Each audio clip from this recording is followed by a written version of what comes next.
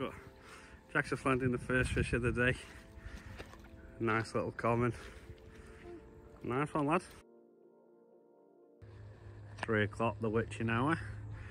Uh, Steve, uh, gentleman in the other peg there, has just had one, put it back, and then Jack's rods just took off. So we had a first fish when he got here, 10 minutes in. Um, actually, Jack, this is your other rod. So Jack's got a new set of rods here. So this is his second rod. So that means if he lands this, he's had a fish on both of his new rods. So that's wicked, that is. There's a little mirror, is it, lad? Are you right landing it or do you want me out you? You got this? Very nice.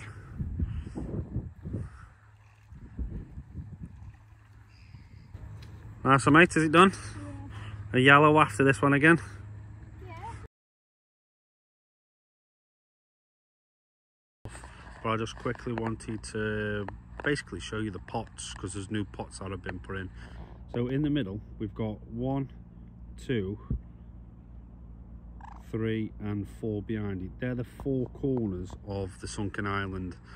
Coming up to the sunken island is about five foot but on top of it it's between two and three foot. If you look behind the sunken island you've got a pot over there uh, and you've got one there and exactly the same basically in all four corners. So you've got one in there and the other one in the distance over there. How I can explain it is the island if you imagine it as a castle but obviously underwater there's a wall around the castle so there's a hump that's about a meter across that goes all the way around the lake in a big massive square around the sunken island. Before you get to the wall, it can actually reach depths of six foot. But as soon as you come to the wall, as you can see on the left, it goes up to about three and a half foot and it's about a metre wide. On the other side, it drops down to five foot. But then again, look on the left here. As soon as you come up to the island, which is the right in the middle, it becomes two and a half foot deep to three foot. It's very shallow.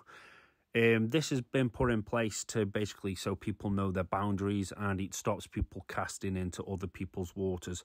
It's a trial and error at the minute and only time will tell how it will work out in the end.